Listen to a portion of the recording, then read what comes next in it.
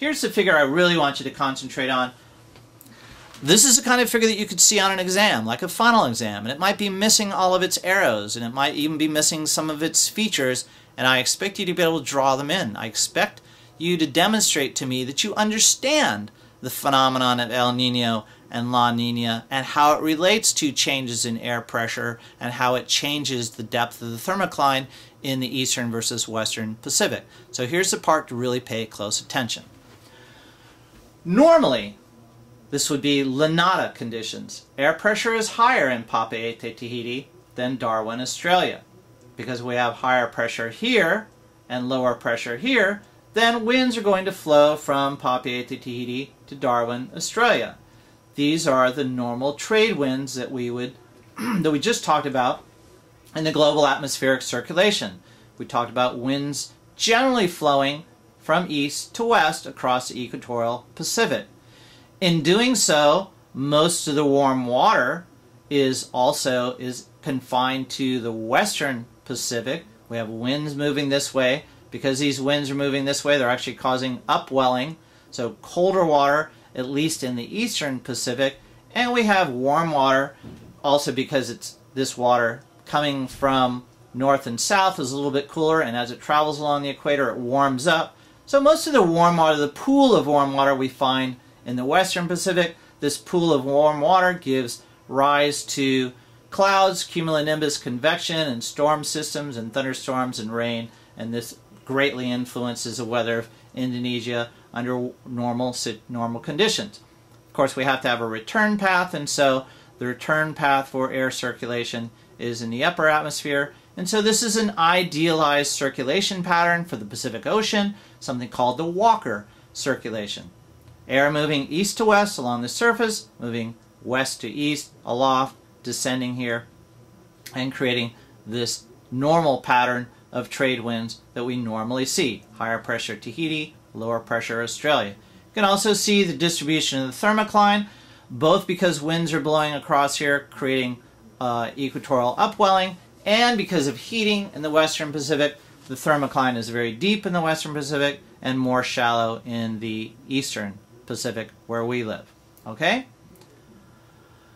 If we have really strong air pressure, really high air pressure here, or really low air pressure here, if we have a very positive southern oscillation index, then these trade winds blow even stronger. And this warm water is shifted even more towards the west. And we have even more equatorial upwelling and an even shallower thermocline. So La Nina is essentially strong normal conditions. And this is what we're experiencing or had experienced over the last couple years in Southern California. It's really pushed our source of rain further towards the west.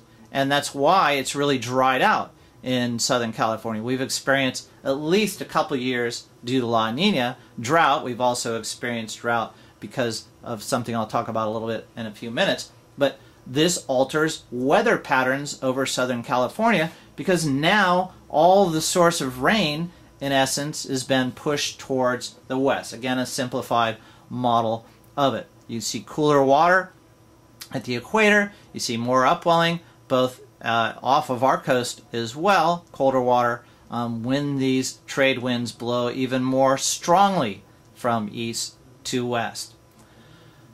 El Nino, El Nino is just the opposite. The whole system breaks down, so to speak.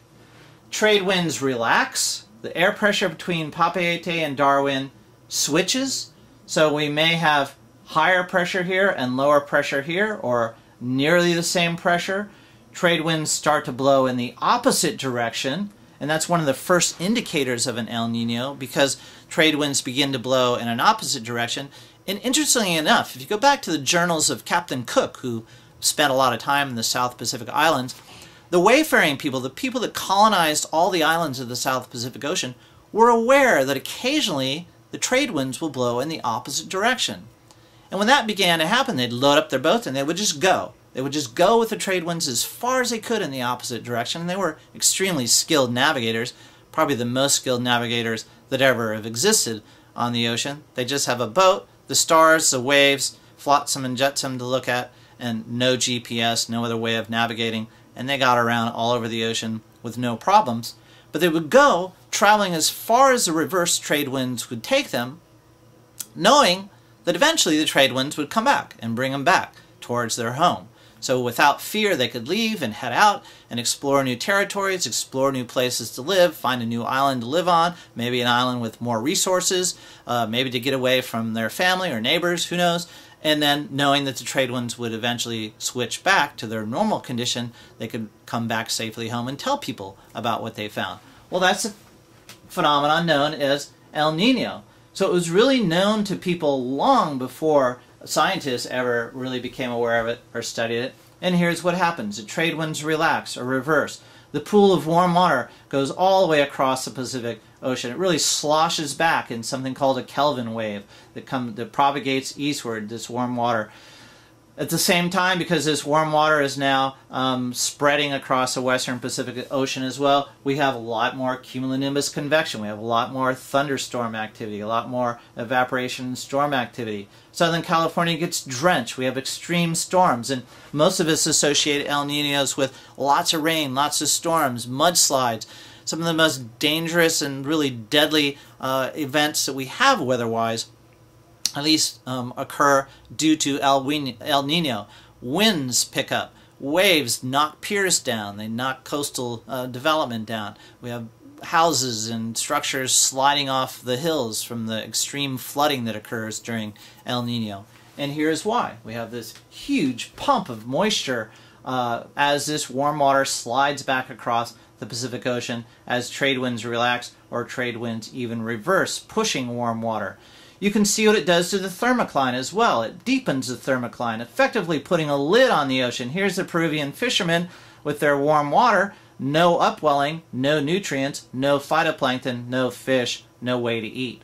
Okay, and so this is the warm water due to El Nino shutting down fisheries because the thermocline is deepened, all the source of nutrient-rich water is now much deeper and doesn't make it to the surface. So reverse of trade winds, reverse in air pressure, a spreading of warm water across the western Pacific, a deepening of the thermocline in the eastern Pacific, and eventually a shutdown of fisheries. During the extreme El Nino in 1983, the Galapagos Islands, which are just off the coast here, um, saw 80% reduction in penguin populations and other severe losses of wildlife because all their source of food and all their sources of cold water were cut off. So again, has very major consequences for weather when this happens. But if you go back and compare the normal condition, the La Nina condition, and the El Nino condition, a negative southern oscillation